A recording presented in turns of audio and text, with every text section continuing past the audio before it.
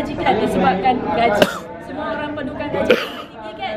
Betul. Biasanya kalau daripada segi gaji, kita beralih daripada satu tempat ke tempat yang lain. Majikan akan memberi gaji yang lebih besar antara 10 hingga eh, 10 hingga 20 peratus daripada gaji asal. Oleh itu, saya berpendapat dan saya sarankan lebih baik kita bekerja di pelbagai majikan. Itu saja. Terima kasih. Okey, bagus.